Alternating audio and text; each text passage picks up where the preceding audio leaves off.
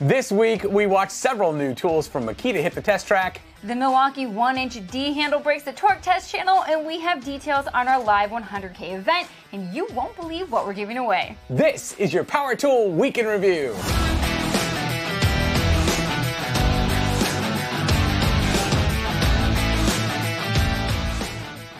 Today's episode is brought to you by Ohio Power Tool, Pro Tools, Pro Service at the best prices at ohiopowertool.com and Skil the tools to do the job, the technology to do it better. Welcome back, Power Tool fans. I'm Rob. And I'm Sarah, and we have a bunch of news and reviews to get to this week, starting with Metabo HPT, which is about to launch a pair of new nailers that showed up on two of our favorite review channels this week. Over at Toolbox Buzz, Rob Robillard picked up the soon to be released Metabo HPT 18 volt multi volt 18 gauge brad nailer. This updated version is now 30% smaller, 31% lighter, and features an extremely effective air spring drive system that Rob does a better job explaining than I would. Rob delivers his typical detailed analysis, coming back with only one real complaint that being the lack of a lockout feature when you're out of nails.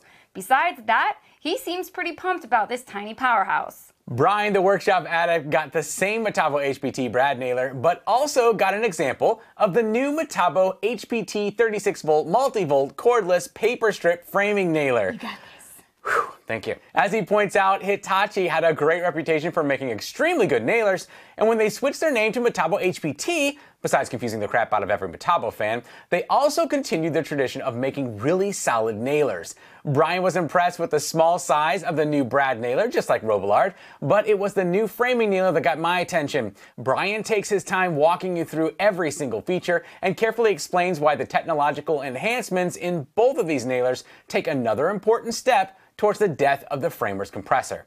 For the full review, head over to Workshop Addict. Moving on to Makita, Dave welcomed us into the man cave again, this time opening up a brand new Makita subcompact drill driver, the exact same one that we announced last week here on Belts and Boxes.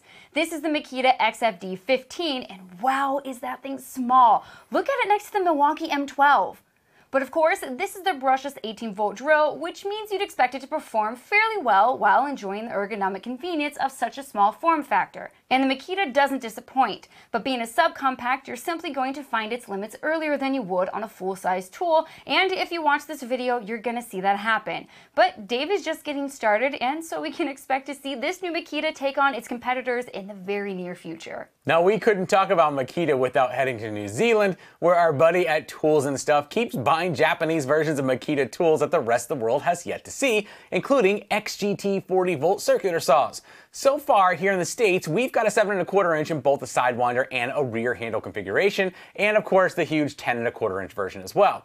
Previously, TNS showed us an absolutely amazing 5-inch XGT saw with a bunch of genius features, and now he's managed to get a 6.5-inch version as well. At first glance, it looks a lot like the 5-inch version, including a black plastic body, polished plate, and what he thinks is an inverted blade. It's a shame that they've put the blade on upside down, but I'll get over that. Silly Hobbit, you're in the southern hemisphere. That blade's right side up to us. He likes the improved battery orientation, allowing you to use a much larger 5 amp hour battery. That's about the same size as the saw. Unfortunately, it doesn't have the cool partially removable base like the 5 inch, but you can't have everything. Of course, with this running on the 40 volt XGT platform and a smaller blade, you expect the torque and the power to be pretty fantastic. To find out if it is, just head over to Tools and Stuff. Our last Makita stop is with Tim over at Shop Tool Reviews. Thanks to Makita, dispensing grease just got easier. This is the Makita XPG01 18 volt grease gun, and while Tim seems to be pretty excited about it, this is a little outside of my range.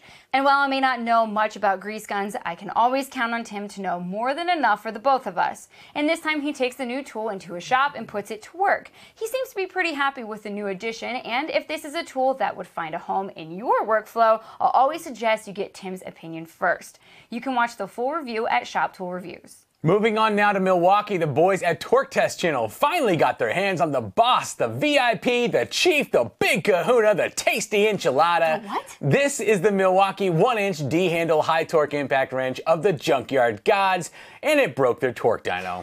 really? Sort of. It actually bent the 1-inch thick faceplate. Seriously. Fortunately, they were able to replace it with a one and a quarter inch thick piece of steel that somehow manages to stand up to the big red beast. Now, this impact wrench is already something of a legend, coming out in June of last year and making a lot of noise ever since. Many of us have been waiting for this thing to show up on TTC, and this week it finally does. I don't want to spoil anything else. As always, their torque tests are easily as entertaining as they are educational, and you really should go watch this one. You know, sometimes the job doesn't call for the biggest tasty Angela whatever. Sometimes you just need an inexpensive tool with a bit less power but a whole pile of value.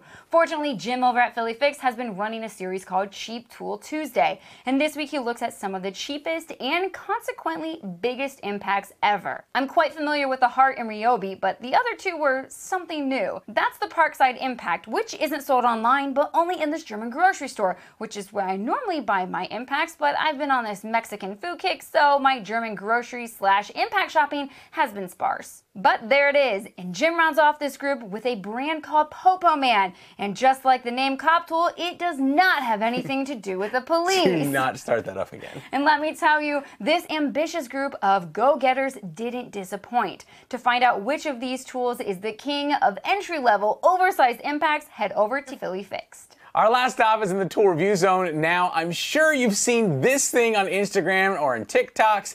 It's a crazy utility knife slash scraper, right? Well, Clint decided he wanted to see what all the fuss was about, so he reluctantly went to Lowe's Man, this guy does not like Lowe's for some dramatic reason, and bought one for himself. There's not a lot of new information here. It does exactly what we've all seen it do, but it's just way more fun when Clint's doing the demo. All right, we have some crazy news for you. You might have noticed that thing floating over my head.